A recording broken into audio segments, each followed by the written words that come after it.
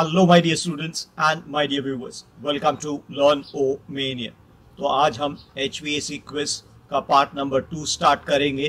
तो चलिए, पहला क्वेश्चन देखते हैं। हमारा पहला एमसीक्यू है two locations where cold air return grill should be installed ऐसी दो जगह जहाँ पर रिटर्न एयर की ग्रिल्स इंस्टॉल की जाती है। वो दो जगह कौन सी है, ये आपको पिक आउट करना है। देखिए एयर कंडीशनिंग प्लांट में जो एयर कंडीशन जोन होता है, वहाँ पर रिटर्न एयर के लिए ग्रिल्स होती है। वो रिटर्न एयर की ग्रिल्स कहाँ लगानी है, ये दो जगह हमें बतानी है। Option A B C D आपके सामने है। The correct answer is option A जो रिटर्न एयर की जो ग्रिल्स होती है, वो दीवार पर खुली जगह पर लगनी चाहिए। और दूसरी चीज़ ग्राउंड से जितना हो सके पास रहे, ठीक है? ऊपर रिटर्न एयर ग्रिल्स नहीं लगानी है, ऊपर सप्लाई एयर ग्रिल्स लगती है और नीचे ग्राउंड की तरफ़ जो है रिटर्न एयर ग्रिल्स लगती है। तो इसके लिए आंसर है option A B C D नहीं है रॉन्ग ऑप्शन है। चलिए बढ़ते हैं आगे नेक्स्ट एमसीक्यू हमारा नेक्स्ट एमसीक्यू है which of the following is a law of thermodynamics इनमें से कौन सा ऐसा लॉ है जो थर्मोडाइनामिक्स का लॉ है आप लॉ देख सकते हैं ए बी सी डी इनमें से आपको थर्मोडाइनामिक्स का लॉ फाइंड आउट करना है। यहाँ पर आंसर है ऑप्शन सी थर्मोडाइनामिक का लॉ कहता है कि हीट एक जगह से दूसरी जगह लोअर इंटेंसिटी पे मूव होती है। सो so, ये आंसर सेकेंड वन के लिए है ऑप्शन सी चलिए बढ़ते हैं हमारे नेक्स्ट एमसीक्यू की तरफ़। हमारा नेक्स्ट एमसीक्यू है सेंसिबल हीट डिस्क्राइब्स डैश इनमें से सेंसिबल हीट क्या बताता है, क्या दर्शाता है, किस बारे में वर्णन करता है? सेंसिबल हीट मतलब वो हीट होती है जो टेम्परेचर बढ़ाती है या टेम्परेचर को कम करती है। उस हीट को हम सेंसिबल हीट कहते हैं। तो सेंसिबल हीट इनमें से कौन सी चीज़ को डिस्क्राइब करता है? The answer is option D how hot something feels कोई चीज़ कितनी गर्म है, वो बताती है सेंसिबल हीट ठीक है सेंसिबल हीट से टेम्परेचर पर फ़र्क पड़ेगा और टेम्परेचर से हमें मालूम पड़ेगा कि कितना हॉट है कोई बॉडी या कितनी कोल्ड है कोई बॉडी ठीक है तो थर्ड वन के लिए आंसर इज़ ऑप्शन डी चलिए बढ़ते हैं नेक्स्ट हमारा next MCQ latent heat measures latent heat इनमें से क्या मेजर करता है? किस चीज़ को मेजर करता है? ठीक है लैटेंट हीट वो हीट होती है जो सब्सटेंस को किसी बॉडी को देने से उसका स्टेट चेंज हो जाता है बिना टेम्परेचर चेंज हुए। ठीक है, ये होती है लैटेंट हीट तो लैटेंट हीट इनमें से कौन सी चीज़ को मेजर करता है? Option A B C D आपके सामने है। The correct answer is option D ठीक है लैटेंट हीट जो है हीट पोटेंशियल मेजर करता है किसी सब्सटेंस का। पोटेंशियल मतलब क्षमता। किसी सब्सटेंस में कितनी क्षमता है हीट की, वो मेजर करता है latent heat option A B C wrong answer है। The correct answer is option D चलिए बढ़ते हैं आगे नेक्स्ट हमारा next MCQ latent heat is measured in latent heat को इनमें से कौन सी यूनिट में मेजर किया जाता है? ठीक है ए बी सी डी अलग अलग यूनिट्स लिखी हुई है। इनमें से कौन सी यूनिट हम यूज़ करेंगे, कौन सी इकाई यूज़ करेंगे लैटेंट हीट को कैलकुलेट करने के लिए? The answer is option C latent heat हम ब्रिटिश सिस्टम में लैटेंट हीट मेजर कर सकते हैं। British thermal unit B T U में। बाकी दूसरे जो ऑप्शन हैं, वो रॉन्ग है, सही नहीं है। चलिए बढ़ते हैं आगे नेक्स्ट हमारा नेक्स्ट एमसीक्यू है if one pound of water warms to 60 degrees Fahrenheit from 55 degrees Fahrenheit what BTU of heat will it absorb देखिए, पहले तापमान था 55 डिग्रीज फ़ारेनहाइट पानी का, और फिर गर्म करने के बाद पानी का तापमान T2 हो रहा है 60 डिग्रीज फ़ारेनहाइट ठीक है? और पानी का जो वज़न था ठीक है, पानी का जो मास था, वो था वन पाउंड ये सब चीज़ें हमें ब्रिटिश यूनिट में दी हुई है। ठीक है फेरेनाइट पाउंड हमें फाइंड करना है पानी जो है, वो कितना बी टी यू हीट लेगा। ठीक है तो हमें क्यू हीट फाइंड करना है। हम अप्लाई करेंगे क्यू के लिए formula M multiplied by C multiplied by delta T mass कितना है पानी का? एक पाउंड पानी की स्पेसिफिक हीट ग्रेविटी कितनी होती है ब्रिटिश सिस्टम में? वन बी टी यू पर pound degree Fahrenheit isn't it तो सी की वैल्यू भी मैं वन लिखता हूँ। और टेम्परेचर डिफरेंस डेल्टा टी मतलब टेम्परेचर डिफरेंस देखिए, पहले 55 था, अब 60 हो चुका है। तो टेम्परेचर डिफरेंस कितना मिला? 5 डिग्री फ़ारेनहाइट का। तो ये वैल्यूज़ हम तीनों मल्टीप्लाई करेंगे एम सी टी की हमें मिलता है ठीक है? Five B T U British system में हीट जो है वो बी टी यू में मेजर की जाती है। Answer is five B T U option A B C D में से हमारे पास सही ऑप्शन है B five B T U ये तरीका होगा हीट वाले सम्स को सॉल्व करने का। चलिए, बढ़ते हैं नेक्स्ट हमारा next MCQ what is the amount of heat energy required to evaporate one pound of water एक पाउंड पानी है, ठीक है? एक पाउंड पानी को इवेपोरेट करना है। अब एक पाउंड पानी कौन से तापमान पर इवेपोरेट होगा? 212 डिग्री फ़ारेनहाइट पर इवेपोरेट होगा। तो एक पाउंड पानी को पूरा इवेपोरेट करने के लिए कितनी हीट चाहिए? ये जो हीट है, वो एक्चुअली हमें स्पेसिफिक लैटेंट हीट पूछी हुई है पानी की ब्रिटिश सिस्टम में। ठीक है? तो यहाँ पर जो आंसर्स एक्चुअली स्पेसिफिक हीट या specific latent heat British system में पानी की होती है 973 BTU ठीक है? तो अब 973 तो यहाँ नहीं है बट 973 के आसपास का आंसर मुझे ये ऑप्शन डी दिख रहा है। ऑप्शन डी जो है वो सही आंसर है। तो इस क्वेश्चन में actually indirectly specific latent heat पूछी हुई है पानी की ब्रिटिश सिस्टम में, जो कि होती है 970 BTU चलिए, बढ़ते हैं आगे नेक्स्ट हमारा नेक्स्ट एमसीक्यू है।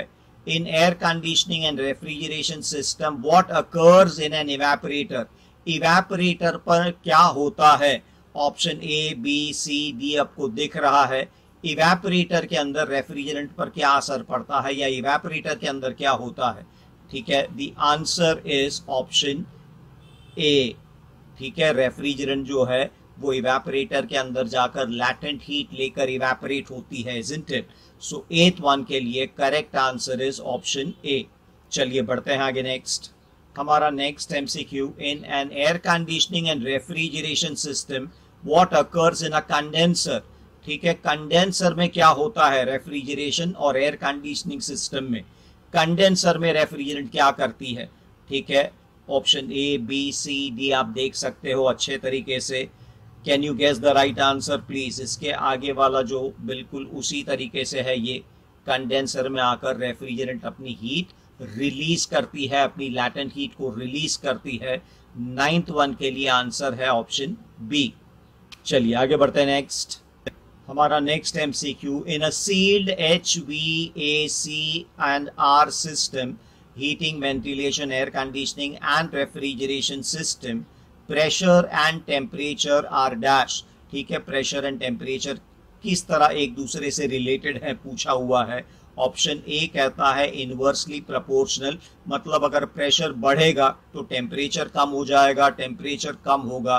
तो प्रेशर बढ़ जाएगा। ये है ऑप्शन ए का मतलब जो कि गलत है। Go in opposite direction up and down ये भी लगभग इसी तरीके से होगा। गोज इन ऑपोजिट डायरेक्शन नहीं pressure and temperature opposite direction में नहीं होते हैं। ये भी गलत है। सी ऑप्शन है are equal pressure and temperature क्या इक्वल होते हैं? हाई साइड में लो साइड में प्रेशर एंड टेम्परेचर क्या इक्वल होंगे? नो प्रेशर एंड टेम्परेचर दोनों जगह अलग अलग होते हैं। चौथा ऑप्शन है follow each other up and down yes pressure and temperature ये एक दूसरे को फॉलो करते हैं, ठीक है? चाहे बढ़े चाहे कम हो अप एंड डाउन मतलब बढ़ना, कम होना, ये एक दूसरे को फॉलो करते हैं प्रेशर एंड टेम्परेचर मतलब अगर प्रेशर बढ़ेगा तो इक्वली टेम्परेचर बढ़ेगा टेम्परेचर बढ़ेगा तो प्रोपोर्शनलिटी प्रेशर भी बढ़ता है।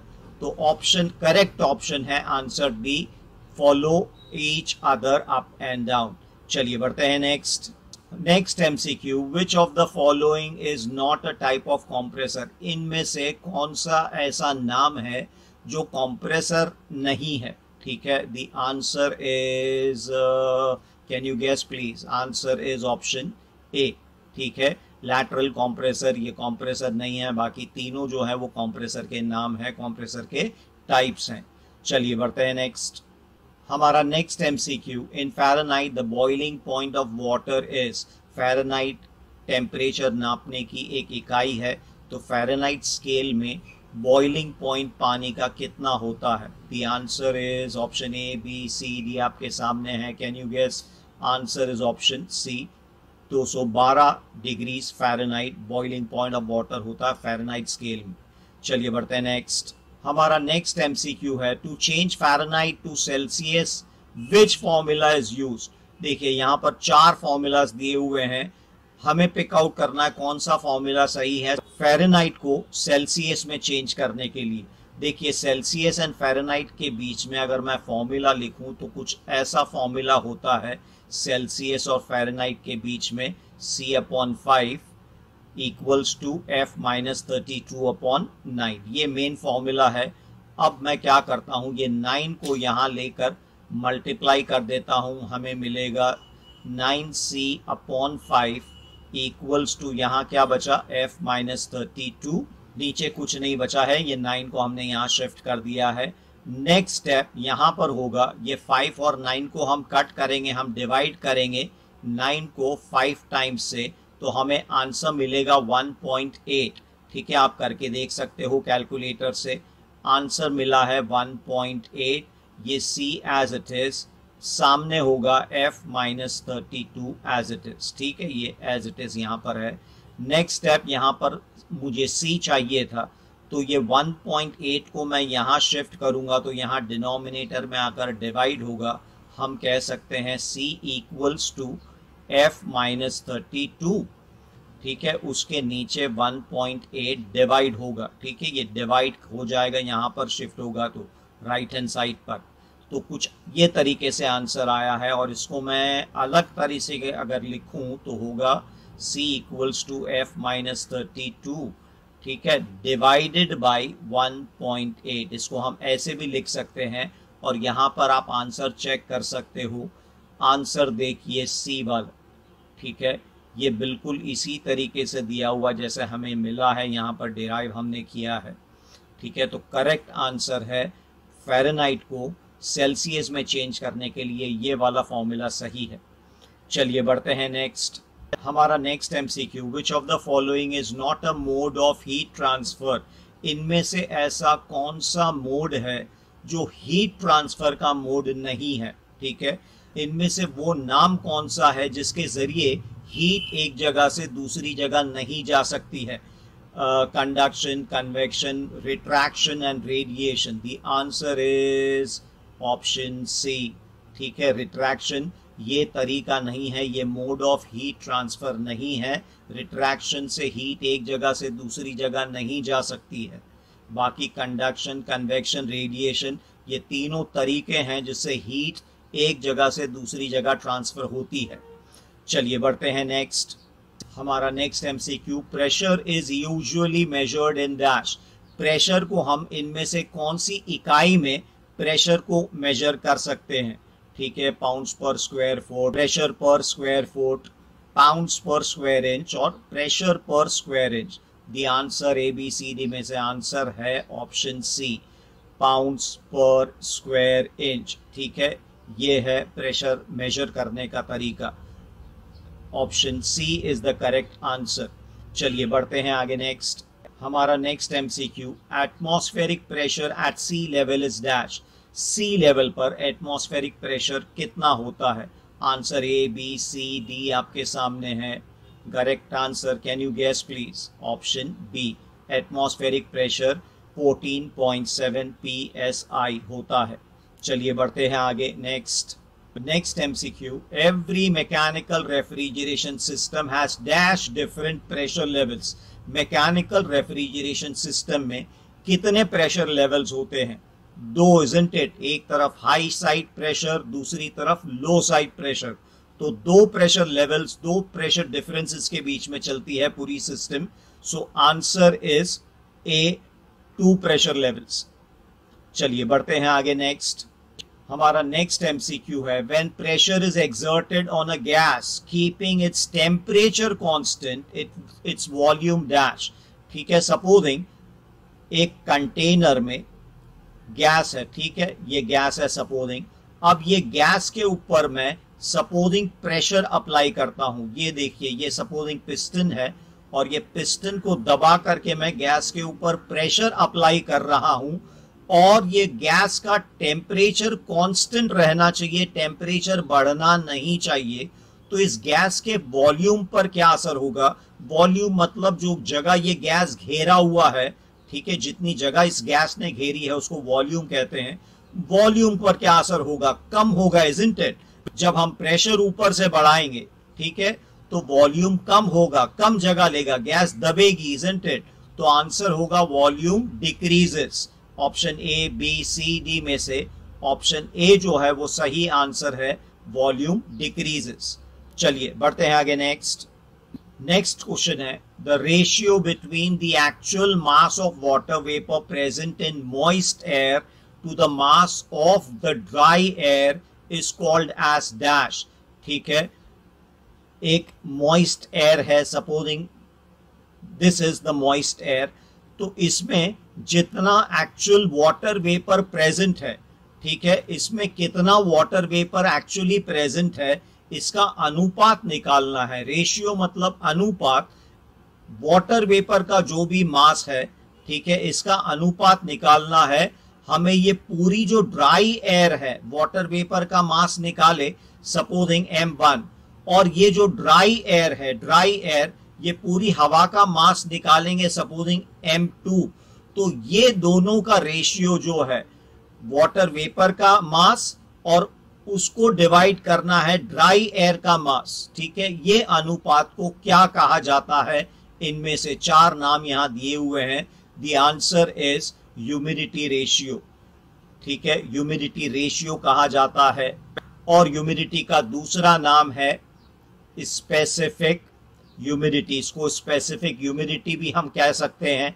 ठीक है? तो correct answer is your humidity ratio option C चलिए, बढ़ते हैं आगे नेक्स्ट नेक्स्ट एमसीक्यू डिस्कस करने से पहले मैं जल्दी से आपसे रिमाइंड करना चाहूँगा कि प्लीज़ अगर अभी तक आपने ये चैनल को सब्सक्राइब नहीं किया है तो प्लीज़ चैनल को सब्सक्राइब कर ले और साथ में एक रिक्वेस्ट और करूँगा कि अगर आपको ये वीडियोस अच्छे लगते हैं, आपको समझ में आ रहा, आपकी मदद हो रही है तो प्लीज़ लाइक बटन दबाना मत भूलिएगा।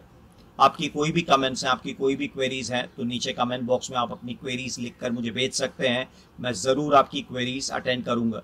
चलिए बढ़ते हैं नेक्स्ट एमसीक्यू पर।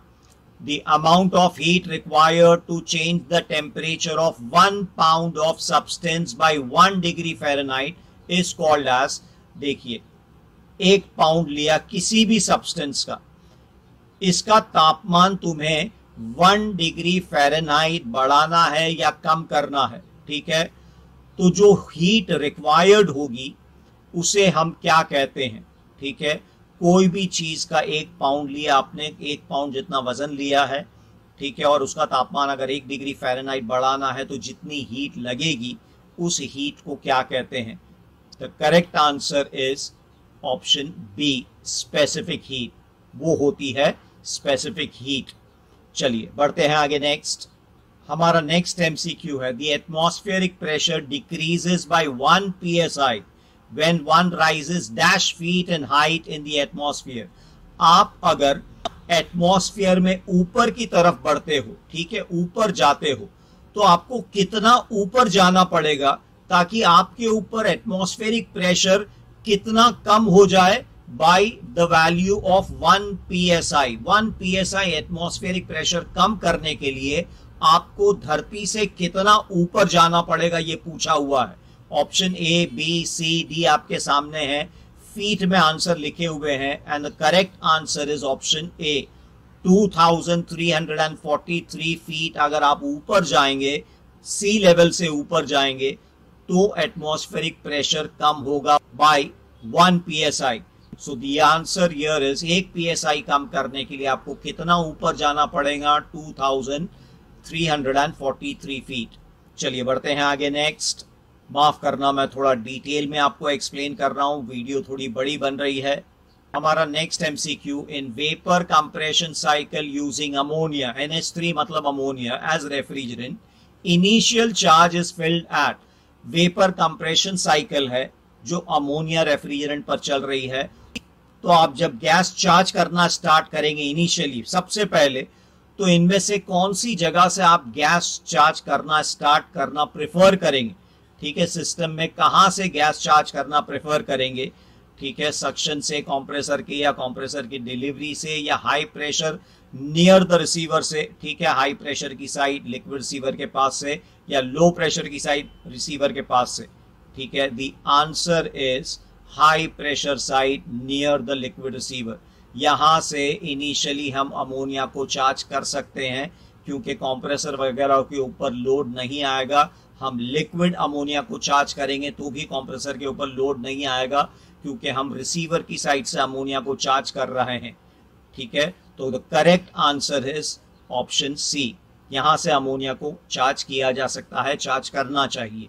चलिए, बढ़ते हैं आगे नेक्स्ट हमारा नेक्स्ट एमसीक्यू है the temperature of air recorded by a thermometer when it is not affected by the moisture present in the air is called dash ठीक है?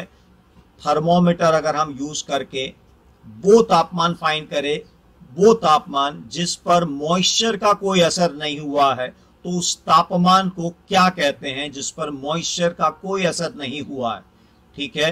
That is called as dry bulb temperature option B is the right answer ठीक है dry bulb temperature मतलब ordinary thermometer से जो हम temperature की reading लेते हैं, ठीक है, जिसके ऊपर हम मॉइस्चर वगैरह का कपड़ा नहीं लपटते हैं, जिसके ऊपर मॉइस्चर का कोई असर नहीं हुआ है, ऐसी थर्मोमीटर की रीडिंग को ड्राई बल्ब टेम्परेचर कहा जाता है।